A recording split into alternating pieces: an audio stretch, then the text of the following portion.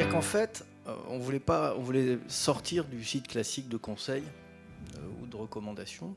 On voulait sortir effectivement de la gestion du risque, du réglementaire, comme Axel l'a dit, et euh, se recentrer santé-travail, mais santé sur le sur l'évolution non plus de la médecine du travail vers la santé, avec la définition large de l'OMS en termes de santé, qui n'est pas seulement la santé physique, mais la santé mentale, le bien-être.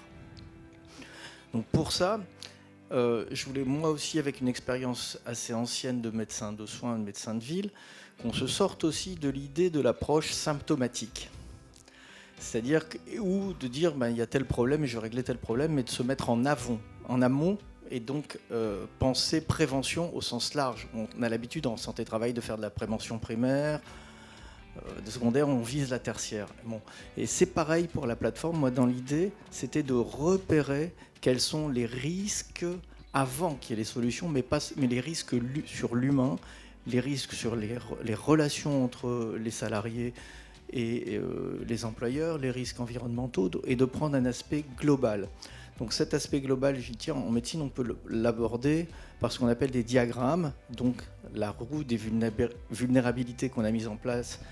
Et c'est vraiment nouveau, ça c'est très innovant. C'est issu non pas d'une intelligence artificielle, mais tu l'as dit, vous l'avez dit, on a fait beaucoup de réunions, on a, on a sollicité tout le personnel, on a sollicité euh, de très nombreux adhérents, et de façon à définir un petit peu cette roue qui permet d'établir des diagrammes des zones où on va se sentir un peu plus fort, des zones où on est un peu plus vulnérable, un peu plus à risque, et des zones voire où on est en souffrance.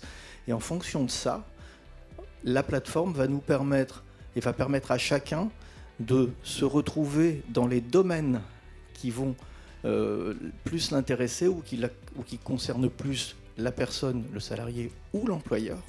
Pour moi, c'est important.